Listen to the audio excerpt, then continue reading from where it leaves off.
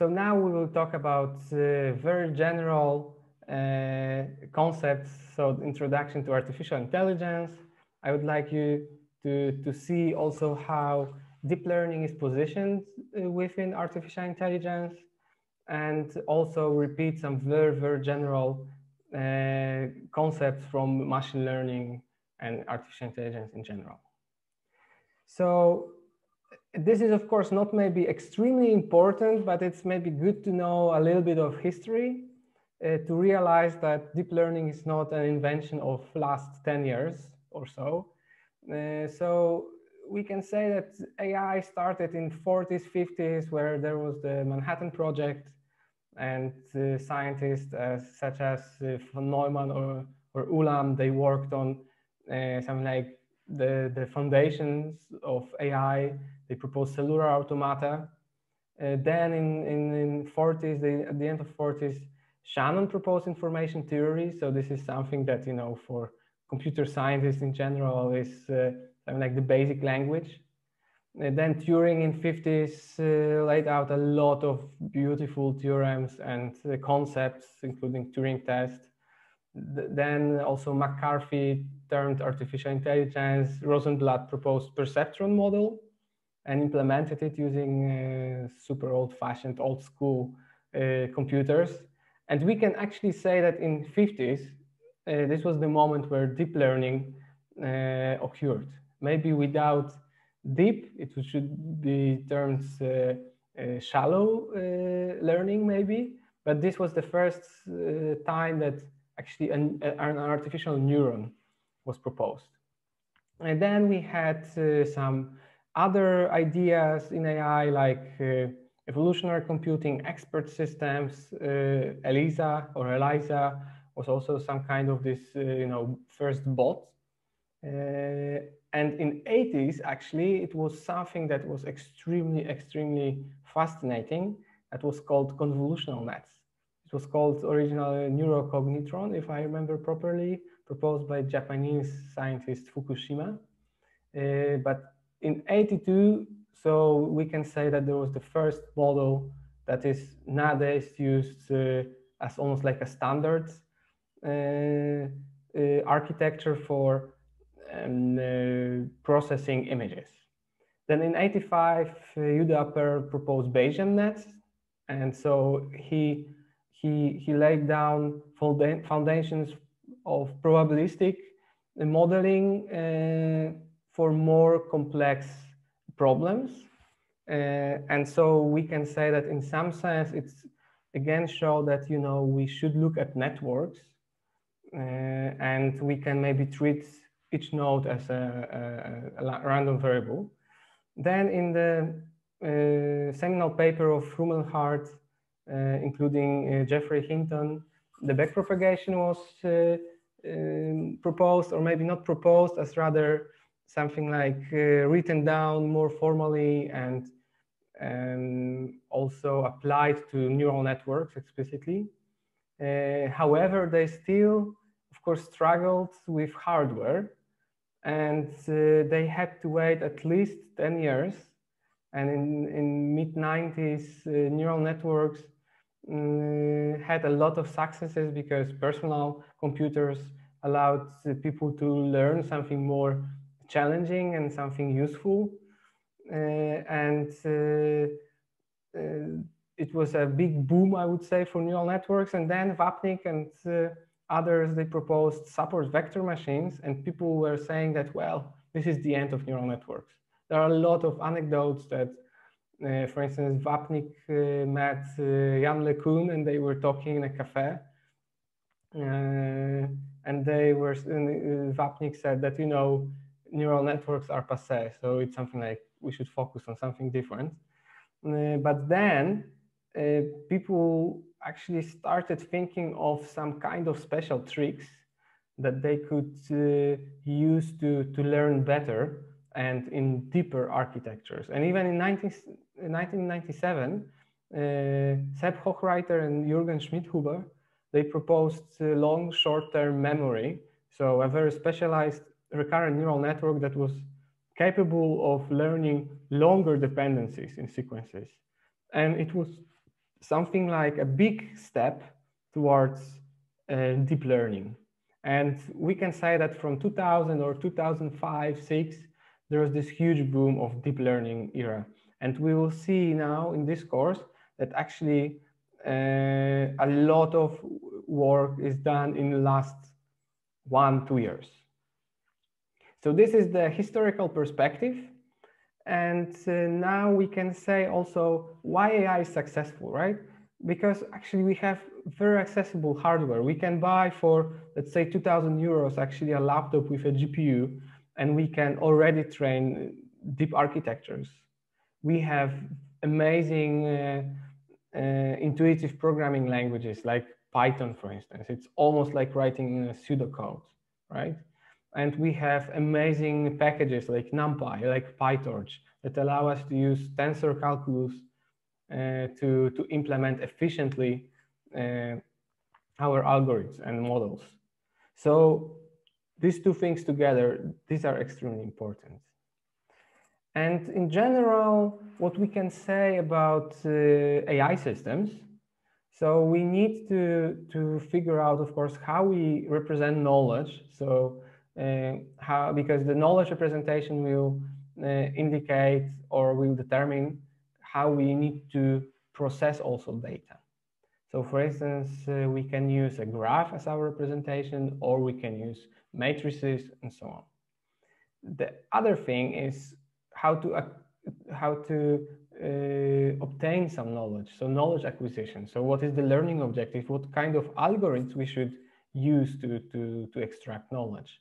And in the end, of course, we should say what kind of learning problems we have. Uh, and uh, these three things together, there are some like foundations of AI systems in general, and this is what we should be um, should be aware of when we, we deal with AI systems. If we talk about neural networks or deep learning, so our knowledge representation, uh, we can say that this is a set of matrices or set of tensors, so weights of neural networks. Uh, and we uh, use learning objective to be, as you will see, uh, uh, the likelihood function. And as our algorithm, we'll use uh, gradient-based methods mainly, gradient-based methods that that is used to, to, to learn these weights using some data. And of course, learning problems is what we will talk in a second. But in general, these two points we can think of uh, neural networks together with gradient-based optimization. And the learning problem, we can see it as an optimization problem and very specific one. So what does it mean? It means that we have some given data, we have uh, some family of or a class of representations. So for instance, we can say that we have some images with labels like uh, dogs and cats or cats and, and horses. And we we want to learn the best possible neural network all right? And then we have some specific learning objective for instance the likelihood function. And we are looking for such weights for which i will have uh, the, the, the highest likelihood. So that uh, for this given data my model is uh, best suited and uh, very often we will say, instead of optimization algorithm, because to be honest, it's not very sexy, uh, we will say just learning algorithm. And why? Because it allows us to learn our model. And now we can uh, discuss what kind of learning tasks we have in general. And we, we can uh, distinguish some like three main tasks. So the first task is supervised learning. So we have inputs and outputs, for instance, images and labels like horses and cats. Then we are mainly interested in prediction. So what does it mean? It means that if I get a new image, I want to say what is the proper label for that. And what we do, we minimize some kind of prediction error expressed in some way. Uh, then we have unsupervised learning. And uh, in, in, the unsupervised learning paradigm, we don't make any distinction among variables. So we don't say this is input, this is output. No, we treat it as, you know, uh, one vector of variables. For instance, we just look at images and we say these are this is what we have. We don't have any labels, and we rather uh, focus on uh, looking for some structure in data. So what kind of patterns I have inside my data that you know uh, are informative enough. For instance, we can say that all right, I have uh, faces of people, and now the structure is that whether a person has glasses is you know a lot or a, few hair or or something like a beard or no beard, male, female, and so on. We can say that this is our structure now. And in general, we are looking for uh, minimizing some reconstruction error, compression, and so on. These all ideas uh, in compression, for instance, this is the part of this part of unsupervised learning. And then the last uh, component or the last, sorry, uh, task is reinforcement learning. So now this the story is a little bit different. So before we had, okay, I have images and labels, I, or I don't have labels. But right now we, we just distinguish uh, agent that is embedded in some environment. And by agent, I mean, uh, for instance, a robot walking in some, I don't know, uh, in, in an apartment. But I can also say that my agent is uh, a bot that uh, a, a, bidding bot that interacts with other uh, bidding agents, people or machines. And the whole environment is, uh, I know, internet and the platform that they can exchange their bids. And what we want to learn now is, or what we are looking for, is a policy. And the policy is uh, uh, you can say, some kind of strategy of making actions and making decisions. And then after some time, after a series of maybe actions, we, we get some reward. We know whether we, we did what we wanted or not. For instance, uh, I can say that we have a robot, a Roomba or some other robot that is cleaning my house. And uh, I can click a button. Uh, the small robot is going everywhere and cleaning. And then at the end, I can, for instance, say, okay, nice, but 20% of my room is still dirty. So I can reward it, partially reward it. Uh, uh and then maybe this maybe this machine has some kind of learning algorithm and it, it can update it itself. And in general, we maximize some kind of a total reward. For instance, if I run multiple times, I want that my reward is, uh, the total reward is maximized. So these are the three main problems. And for instance, what we can have, we can have a classification error. So it's a classification problem where for given image, I have some uh, task, I can have regression problem. When for given image, I have some continuous value. For unsupervised learning, I can, uh, I can be interested in, for instance, grouping or clustering uh, some objects. And then in reinforcement learning, uh, I can imagine, for instance, some drones uh, flying around and coping with wind blows or something like that. Or, as I mentioned before, is cleaning, vacuum robots that uh, maybe they encounter something new and they should learn how to do that, or even video games, right? As you will see in this course, video games. It's some like favorite uh, favoring stuff of these big companies like uh, DeepMind or Google, Open AI, and so on. So these are these three main tasks. And now we will move to, uh, to real introduction to deep learning. And uh, deep learning uh, introductory uh, slides, we will start with more principled manner of looking at, uh, let's say, foundations of that. So we will start with, right, so now we will look into deep learning, but still from this introductory level, okay? We will say a couple of things why we uh, want to uh, learn deep neural networks and, and why this is important. So first of all, deep learning is used nowadays actually everywhere in computer vision, in information retrieval, speech recognition, NLP, uh, recommendation systems, and so on, drug discovery. All big players and all big companies, they have own researchers that work only with or on deep learning. So this is something like extremely, extremely uh, important uh, topic. What are the something like the best uh, applications? Uh, I, I, will name only a few, but these are something that uh, you know made the change in, in the field. So for instance, one application that really was extremely successful, where deep learning was extremely successful, was handwriting generator.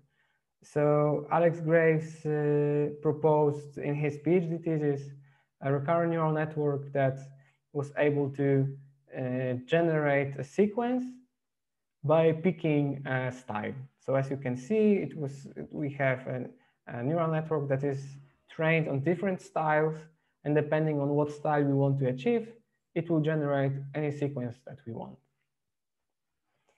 Uh, for instance, other application is image generation. So uh, here it's uh, our very uh, recent uh, paper together with a, a master student, Yanis Gatopoulos, that uh, graduated a month ago. so basically almost like your a bit older colleague. And uh, the project was about generating images.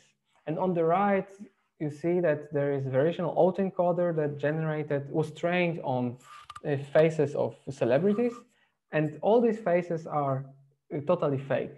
The, these faces do not represent anyone uh, like li living person. And then on the left and on the right, you can see different models, different generative models that were able to not only generate faces in the end, but also, for instance, sketches in the middle. So you can imagine that this was uh, something like uh, uh, like you make a sketch of a person and then you put colors. So this was this generative process here. Or it was more like compression-like uh, perspective that first you generate low quality images, then you uh, make higher quality images, and in the end, the, the, the original resolution of images. So as you can see, so there are different possible approaches and, and, and, and this is where deep learning, especially these days, you will see in lecture six and seven and eight or 10, sorry, you will see that these models these days, deep generative models are something like killing anything else. Uh, another really cool uh, application from a couple of years ago is uh, image captioning using deep learning by uh, Andrej Karpathy and uh, Li Feifei. Uh, so they trained a deep, deep learning based system that for given image provided a short description. Like, I don't know, for instance, the first one, man in black shirt is playing guitar right?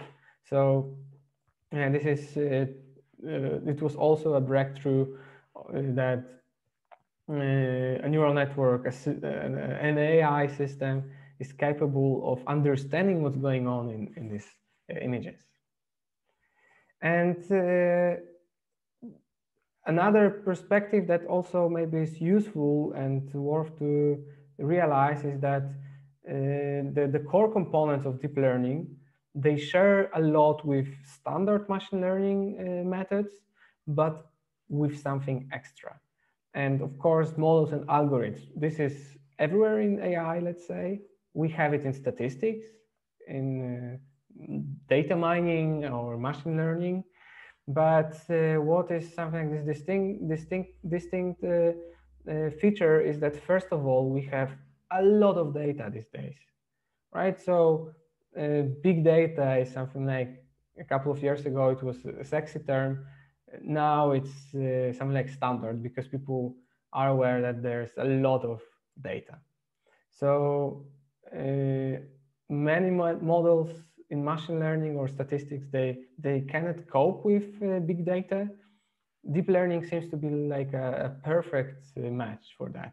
Even OpenAI, uh, people they would say that yes, we, we we want more data. The more data we can get, the better, and the better model we will get.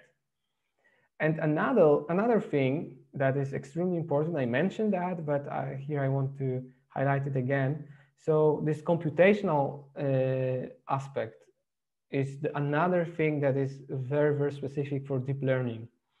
When uh, people in machine learning, uh, I know, 15, 20 years ago, they didn't bother too much about computational resources. Of course, the more the better, faster, and so on, but it was more or less fine. But with deep learning uh, methods, we do care about it. And so people started thinking about parallel computing, GPUs, and so on, TPUs, FPGA at some point, also something like that. And they, of course, started developing deep learning frameworks to help people to develop uh, deep learning uh, models. And we have, at some point, there were Theano, Caffe, Lasagne. So this is for, you know, historical, uh, to have to keep in mind from historical perspective. And these days we have PyTorch and TensorFlow, right? The two main. Um, and also JAX that, just came uh, one or two years ago.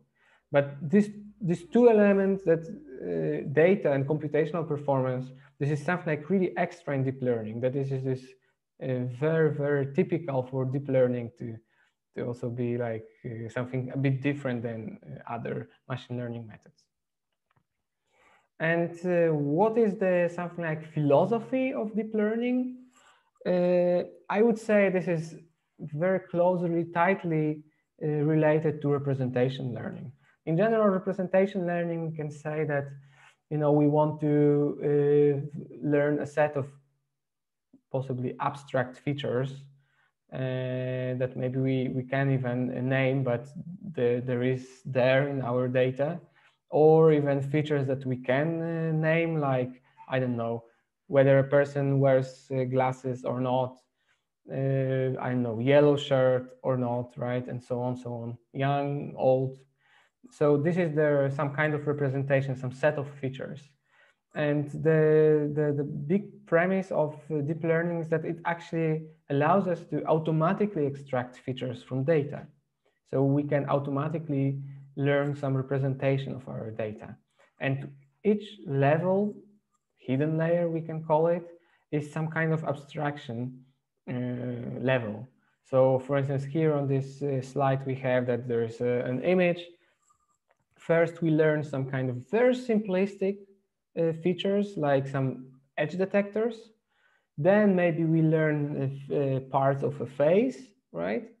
And there will be an eye and a very specific eye, smiling uh, or not smiling, sad face, and so on, and so on. And then in the end, we'll combine this component, these parts to get uh, something like uh, um, uh, face prototypes or something like that. And then in the end, on top of that, once we have this, you know, abstract, uh, some generalized uh, faces, for instance, we can classify it and we can say, right, in this uh, photo, I see a man in glasses.